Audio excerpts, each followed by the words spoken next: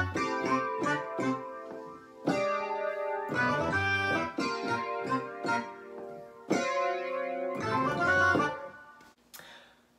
YouTube, welcome to Uncovering the Classics. As you can tell from the introduction today, we're going to be uncovering Steely Dan's Peg. Uh, some of you know we've got a tribute band here in Nashville called 12 Against Nature. However, this particular time was something I had to program for a band down in Atlanta, the Yacht Rock Schooner. So I love going down and playing with those guys.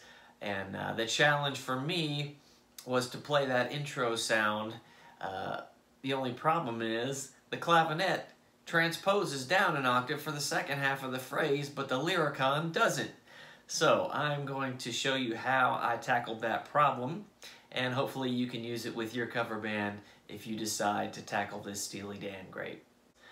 This particular patch is interesting because it's seven layers. You have your main layer for the clavinet, and you play throughout the song.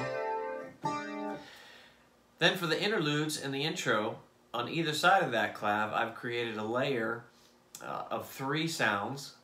Two of them are soprano sax tuned in octave to kind of create that lyricon patch that Steely Dan used. And then that also layered with a clavinet. The interesting part about that is that the clavinet is tuned in octaves depending on what part of the phrase. The first part of the phrase is that octave, but then for the second part of the phrase, it's a lot lower. That's why I had to create two different layers on either side of the main clavinet layer. And that's easily done with MainStage because you basically have an infinite amount of layers you can create in a keyboard patch.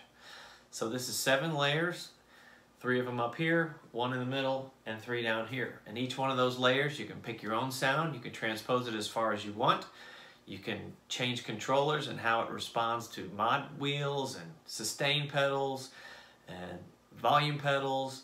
It's just really versatile in how you can assign the controllers. You can probably also find a keyboard out there that'll let you split it seven ways and create a seven patch layer. But uh, with MainStage, it's just super easy.